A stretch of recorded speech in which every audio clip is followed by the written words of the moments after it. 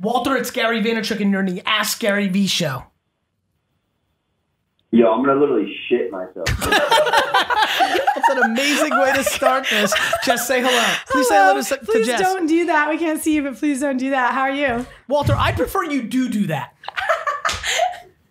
I mean, bro, if it's gonna bring you a lot better content, you know, no.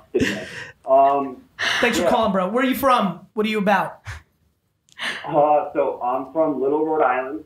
Yep. Um, I'm 27. Yep. Um, I'm a product of the college dropout life because I truly found my passion. Yep. Um, and so I started to create a whole bunch of clothing. And so I kind of took a little bit of a turn because it was becoming more of like a money thing as opposed to, you know, it's like the overall growth and passion of, you know, so what I love to do. And so, and so I started to look at everything from the numbers side as opposed to, you know, like in the better interest of the actual brand. Yep. And so now I'm just trying to essentially start over with my brand. Yep. Um, and so, uh, you know, the biggest thing that I have for you guys, um, you know, would be how do you start over? Easily. Early You and often. Yeah, easily, bro. What do you, you know, uh, by recognizing it's the easiest thing in the world if Yep. you're able to not take other people's judgment and if you're willing to be humble and patient.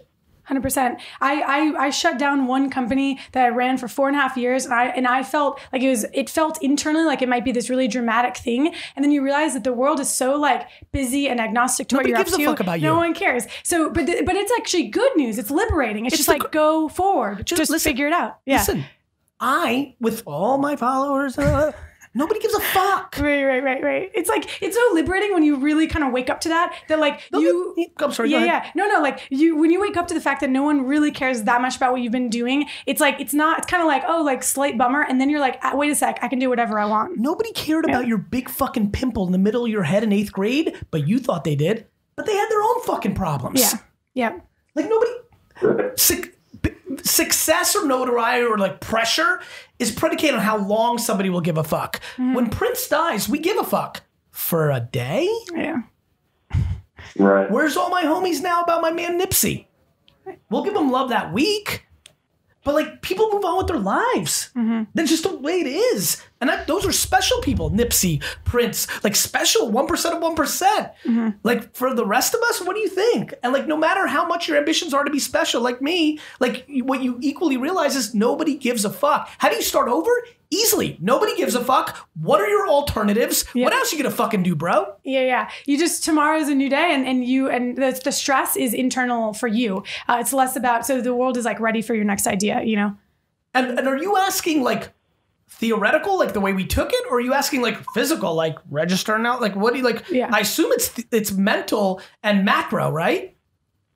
It's a hundred percent macro. Um, Love so it. like just for a little bit more context, guys. Um, so I grew the company literally straight from college, and I took it to six figures Yep. in a little bit over six months. Go ahead. And that was strictly from Inst- that was like strictly from Instagram because Of course. you know so I actually was using that back in 2013 when it started to really take off, but Yep. it wasn't actually positioned for brands at that point. Yep. And so I leveraged that. Um, and and to be completely transparent with you guys, like it got caught up in crazy to me because I viewed, you know, it's like 10k followers as a shit ton. Yeah. Right. And it just completely threw my mindset out of whack. You got high on your own know? supply. Yeah, yeah. So you have to realize. Exactly. Yeah, bro, the- I get it. Yeah, it's tough. The other thing is like what got you here won't get you there kind of thinking, where it's just like whatever you did on that last business that worked, like probably won't work again in the same way. So just unhook from that and think about what you want to do next. Bro, this happens all the time. Using data points from here, like it- I have so much empathy. I'm so pumped that you're so self-aware, though. You're 27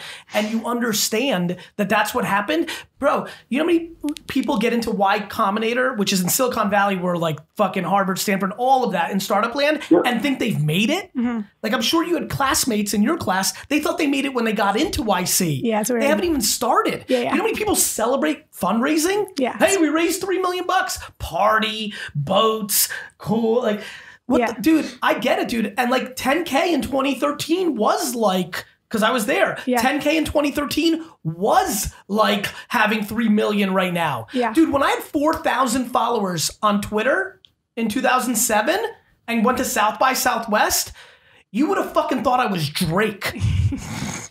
Yeah, but everything has a moment. So That's exactly so, so right. the point is everything has a moment, and, and you see entrepreneurs sometimes right try to recreate an old moment, and Oh, it gets so w- super awkward and weird. So just like think about that. Like think about how you can't recreate that old moment uh, where you were. Yeah, and dude, don't go back to high school as a college kid to pick up high school chicks, okay? yeah, Walter? just also No, don't do High that. five, not high five. Got it. Walter, honestly, very seriously, bro, this is a piece of cake.